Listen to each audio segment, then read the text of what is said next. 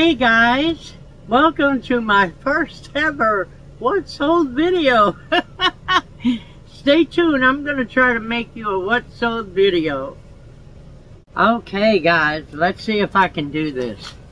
I had to make notes.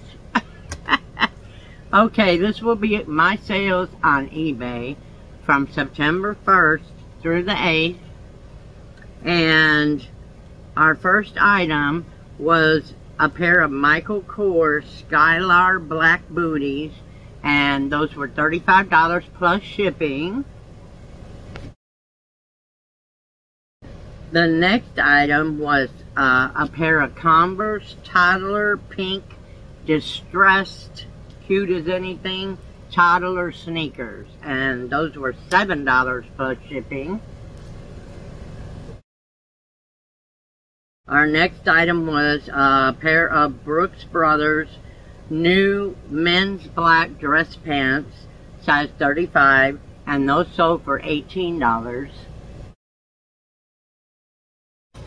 Let's see, our next item is Under Armour Cold Gear men's compression top, size medium, 750. The next item is a Gothic pendant and that sold for $10. On Posh, we sold an Eddie Bauer Australian pullover for $18. And the next item was a vintage Wings Beach Outfitters New with tags pink hoodie for $25. Okay, and we have a Calypso St. Barth size medium white wrap dress, and that sold for $16. On Mercari, we sold one item, and it was Wrangler Jean Company and those sold for $8 and those were a size 9-10. Well guys, not a whole lot, but that's okay. It's a good start for my what sold video.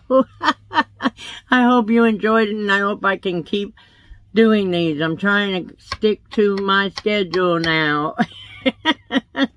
we love you guys. Let us know how you did last week.